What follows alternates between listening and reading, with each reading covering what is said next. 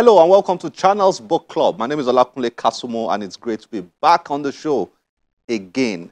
Somebody sent me this fascinating novel titled Five Brown Envelopes. Uh, when I first got the novel, I put it on my table for, for a long time until recently when I picked it up and I just could not drop it. I'm not kidding you. It's an exciting, fascinating thriller novel with a central character called Unduka Kabiri, aka Kaka. Kaka is a guy who has a company and is bidding for a multi-billion contract. And because he's bidding for a multi-billion con contract, his competitors who are also bidding for the same contract became desperate. And you know when there's a lot of money, you see human nature big time. So in this book, his competitors were out to get him. It's a story of intrigues, thriller, suspense, mystery, action, romance, and all that. It is 13 plus, by the way, not for little kids, if you get what I, what I mean. But I thoroughly enjoyed reading this novel, and we've brought the, the author of this book to the studio today. Let's get to meet with him and then enjoy the conversation in which we explored his novel, five brown envelopes.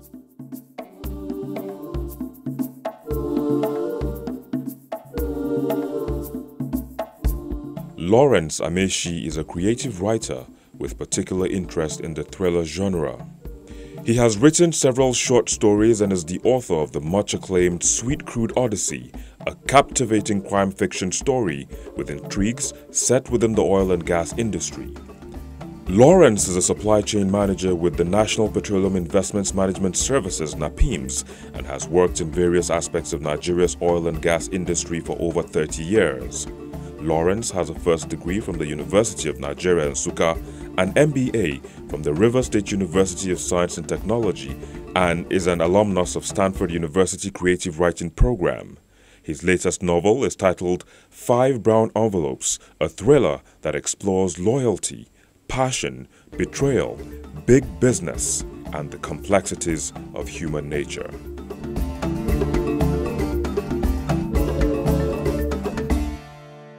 Lawrence, nice to have you on Channels Book Club. Thank you so much. Great to have you here. Thank you. I thoroughly enjoyed your book, Five Brown Envelopes. You know, I'm a fan of thriller, and this is classic thriller. Uh, classic thriller. Uh, but it's not just, I mean, thriller oftentimes has drama and action and suspense um, and romance. Mm -hmm. You know, so it's it's a good mix of of all those genres. Well done, nice nice job. Thank you. So it much. has the right. I mean, it has emotions. It has suspense. It has, uh, and then it it. I said to myself while reading this that the author has a deep understanding of human nature. Did you study that specially? um, in so many ways, yes. Life teaches us about people, and I, I, am interested in human beings. I like to observe them. I like to study them. I like to listen to people. I like to understand why they do what they do. So I guess all that came in. Yeah, def definitely came in into here because when I look at your characters, your characters you know, they depict what you see in life generally. For example, your protagonist, Kaka, uh, Kaka, as, as, is, as, is, as it was known, um, um, Kaka depicts that, that part. It defines the human nature in the sense that there is good and bad in everybody. Nobody is entirely good and nobody's entirely bad. Is that, is that correct? That's very true. Uh, I very mean, true, uh, from, from the worst of people, you see some good happen once in a while. And from the best of people, you see the worst of human nature once in a while. Exactly so. Uh, exactly so. That sums him up, right? Yeah. He's a normal human being who fell into so many situations and reacted like he would react. Okay, for, for so people out there who are watching, um, let, let's What's the story of five brown envelopes? I'm coming back to talk to you. I'm keen on knowing you more as a writer. But let, us talk about this novel first, and then we'll rewind. Yeah? What's in this book? Five brown envelopes. I'm going to talk about it without giving away the plot because Yeah, you know, don't- it's a thriller. Yeah, so- yeah, let the people go and yeah. get it. that- Yeah. I would say generically it's about a guy who found himself in a situation he could not understand. It was a deviation from his normal um, life trajectory, and he tried to respond and to get himself out of it.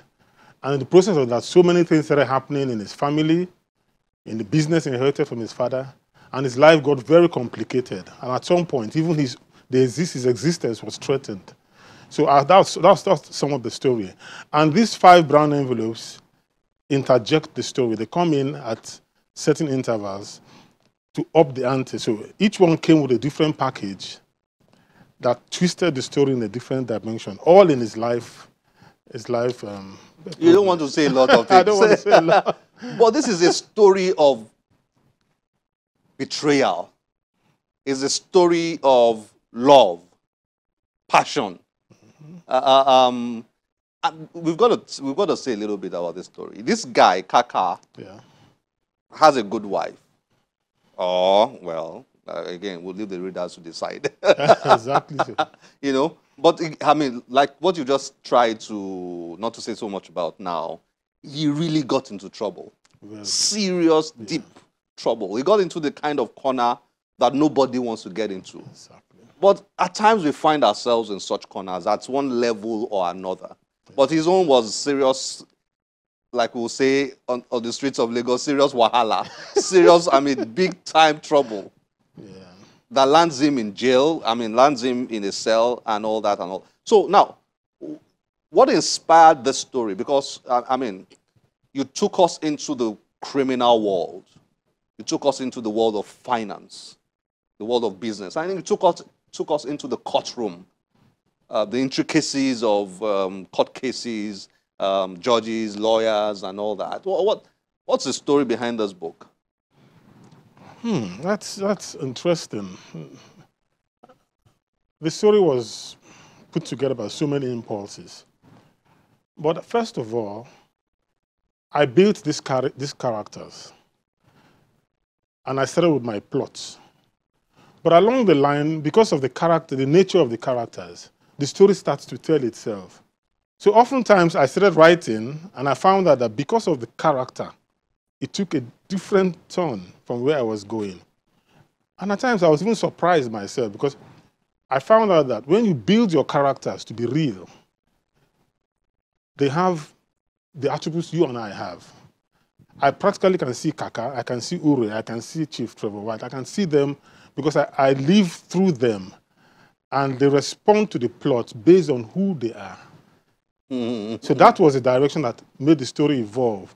At the last jot of my pen, I was shocked because I never set out to tell this, this kind of story. You, you didn't plan the no, ending. no, no, no. I didn't plan it that way. it just happened based on the characters. If I tell, tell if I tell people the ending, you will never forgive me. No, no, Because the ending the ending is so much there's so much suspense. When it, when I read the last line, I just dropped the book. You know, like you're speaking, you just drop the mic after you have delivered. you just drop the mic. I said, Oh my goodness. I like that. I You know, like that. This is one of the best Nigerian novels I've read. Thank you so much. I'm humbled. I, I really compliment you. It's a it's a really nice read, and it's it's um when you start, you don't want to drop it. Thank you. If you drop it, you want to get back to it Thank you. because the story unfolds.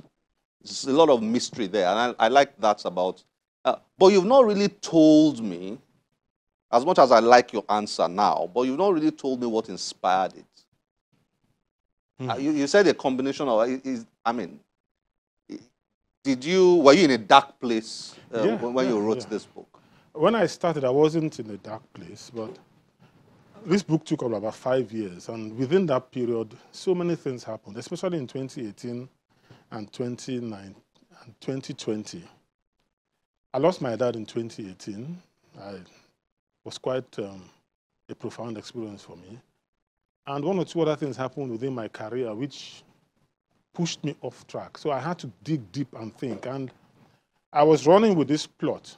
So those emotions came out and made the plot ticket. So my inspiration was I wanted to tell the story of a man who went through a crisis that almost took his life. And maybe in some way I put my emotions into Kaka. I'm not Kaka, definitely. They are two different, we are very different, but my interpretation of his role and the role of other people in the book must have come out of what I was going through. And then you know what happened in 2020 with the COVID and all that. Mm. I, I got um, I got it pretty early in 2020, and it was um, a touch and go experience. So it, it's, it made me see life from a different perspective. So all those things put in a normal story will definitely make you change your perspective and go deeper.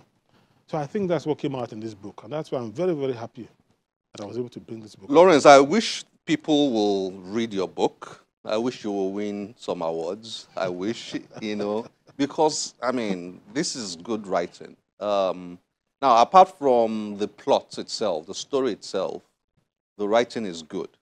Thank you. You know, it's very skillful writing. Thank you. Um, you know, I just wonder, when I was reading this book, I just said to myself, Kunle, do you really understand human beings?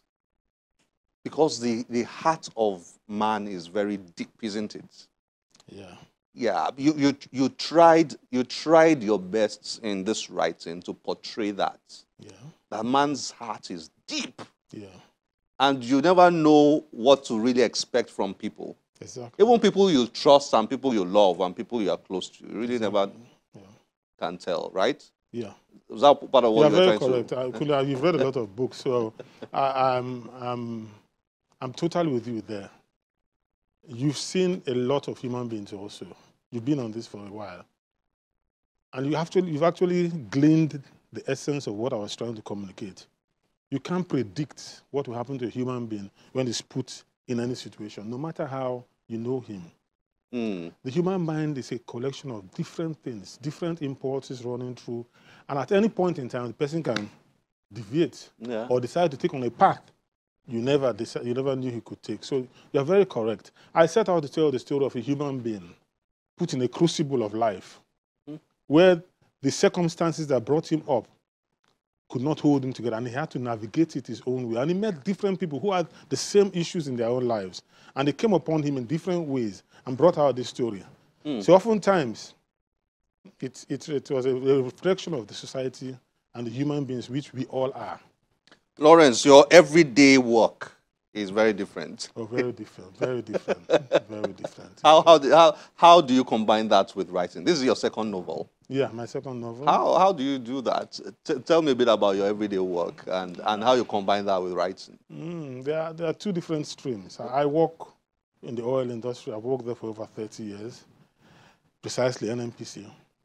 And um, it's a career which I really cherish and I appreciate my career because it has brought me to where I am today. It has exposed me to so much.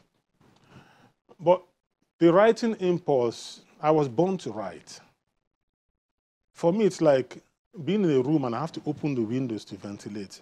Writing helps me to, to ventilate my thoughts. So much goes on between my two ears. At times when I'm sitting down in meetings, I'm looking at people.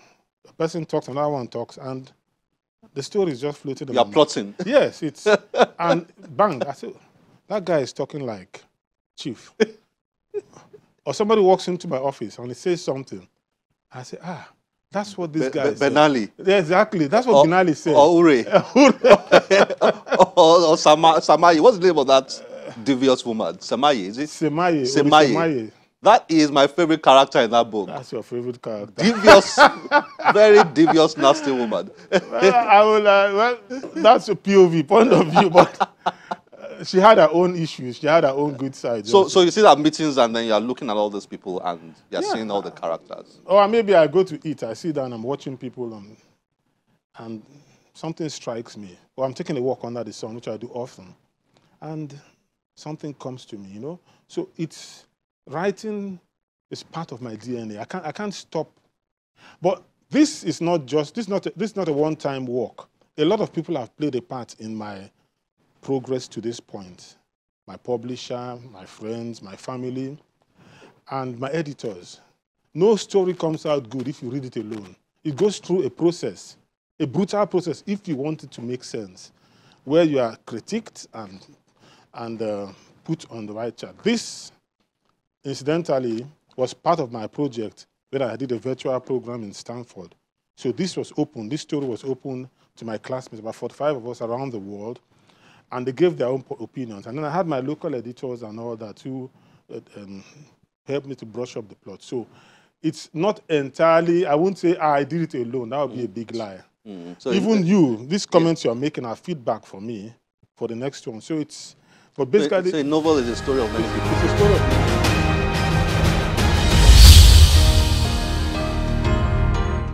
So Lawrence, I've got to ask you about uh, um, the the cover of your book.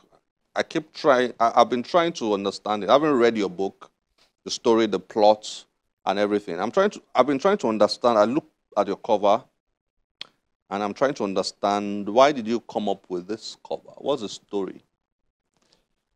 Well, in all fairness, it's my publisher's interpretation of my story. He suggested this cover, and it's, it's, it resonated with me.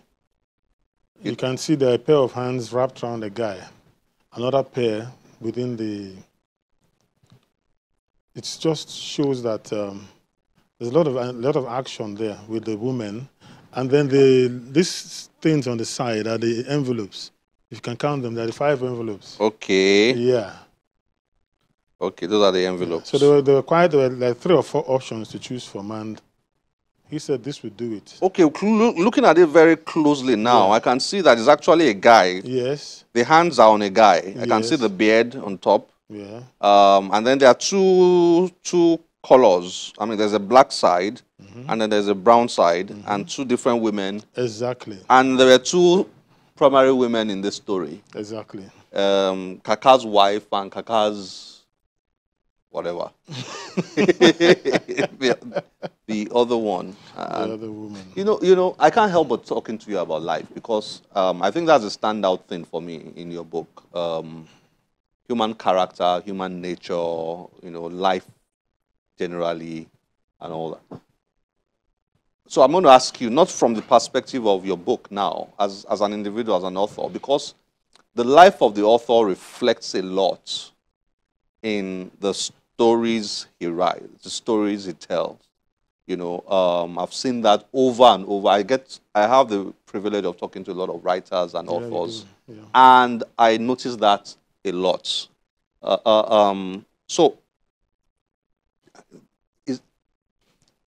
I want to get you to talk. You got to talk to me, Lawrence, about. I'm listening. Yeah. What's it about you, you know, that reflects so much in this book? nice question. First of all, I am not. So that's a good question. yeah, it's a good question. I get asked that question after a book. After my first book, Sweet Crude Odyssey, people ask me, Are you Bruce? I'm not Bruce. Am I Kaka? I'm not Kaka. You are not Kaka. I'm just a man who has a lot going on between his two ears in my way of thoughts, fictive thoughts. Well, to some extent, a part of my experiences, not me per se, my experiences come into these writings. Yeah, it's only, you can't write about what you don't know. But this is not me. This can never be me. But this creation is somebody who fits into the story that was told. So if you are trying to understand me from the book, I guess you are making a mistake. If you read the previous one and you read this, uh, it's not it's not my life story. No, no, no, no. It's a, a story I made up about this guy. But first of all, I had to create him. Okay. I had to create the person. I had to create these people, define them, give them a plot, put them in a crucible, what we call a crucible in writing, yeah. where it starts burning. And also, I enter into that crucible to give them life, and this comes out of it. So, some of my perceptions and opinions might be split in the different characters. Like you mentioned Ure, you mentioned some other lady, there's some other gentleman there. So, parts of you might come out in different characters Okay. at different times. Where are you taking your writing? Oh, Where are you taking your writing? I don't know. It's a journey, a sweet journey. A sweet journey. I, I don't know. It's it's um, for me. It's just like a, a V, open, just keeps expanding. I keep getting these impulses to continue writing. My next book will be the protagonist will be a woman. So I just keep getting these impulses. I've done one or two short stories which are not published, but there's no end in it for me. It's something I intend to do all my life. Are you disappointed by the way books are patronized in Nigeria? Um, do you feel that if you were in a different environment, um, things will be better for you as a writer? No, um, I wouldn't say that. I would just like to take you back. When I was younger, in the 70s, singing Nigerian songs was not the fad. We used to listen to foreign songs, Michael Jackson and all that. But today, Kool and the Gang. Yeah, Kool and the Gang, Earth, Wind and Fire. Diana Ross. Diana Ross. Michael Jackson. We even listened to reggae. We didn't understand the difference between Nigeria and Jamaica. Marley. We thought Jamaica was. but now, within the internet, we've seen and oh, Nigeria. So, over time, it changed. Now, Nigerian artists, same thing with the movie industry. It started from the very rudiments of using the phone and all that. But now it's gone to the big screen. And for those of us like you, I have a lot of respect for you because of what you're doing. Thank you. I, I don't in any way, I don't demean what we're doing. This is the way, this is the future. This is the content that must come out on the big screen eventually. And what you and I know, the world out there needs to know. So we have to keep pushing. Does it give you the money you require? Well, I don't do it for money. I thank God that I have a career. I thank God that um, I don't really feed from it presently. I do it because it's my passion, and I will keep doing it. Incidentally, I was brought up by my late dad was a professor of library studies, so he grew up in his room. He had books stacked all over, and he used to treasure those books like human beings. I ran foul with him so many times, stealing his books. So I read all those African writers, but for them, it was just put the book on the shelf. But I think we have the responsibility to take this higher. Nigerians don't like reading. Nigerians seem to have a short attention deficit. They like the skits, they like the comedy. But we can't stop the literature. We can't stop what we are doing.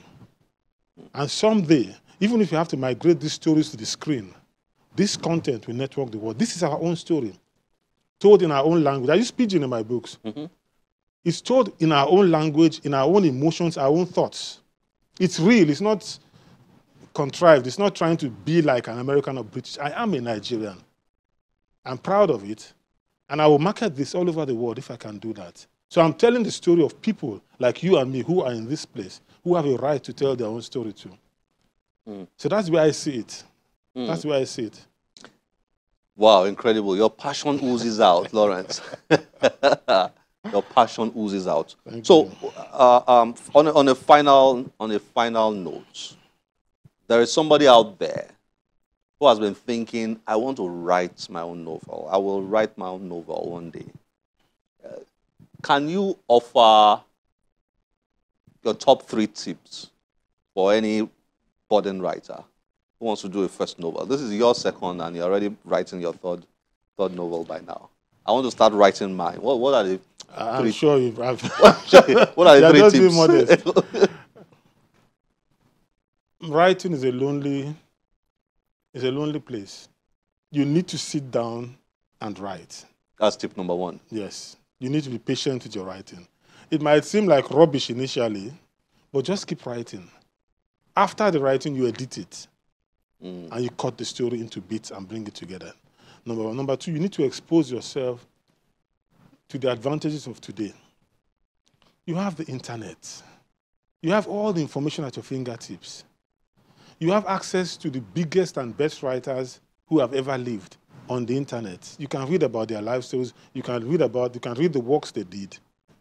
So take advantage of it. The science of these times.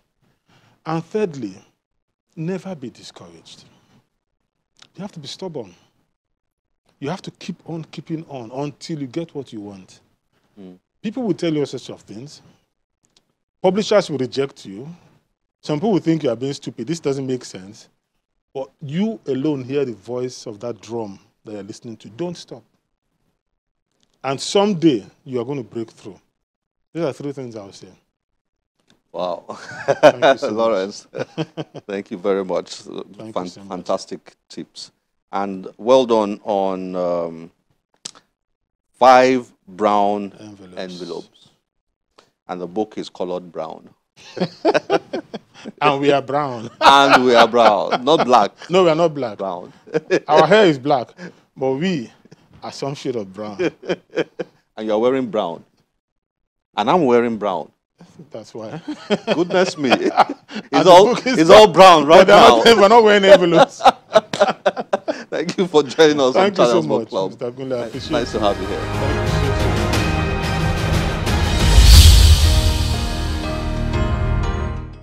This is where we have to draw curtains on today's program. As always, we're delighted to get your feedback through any of our social media platforms displayed on your screen. My name is Olakunle Kasumu. Remember, one great book can change your life. Bye bye.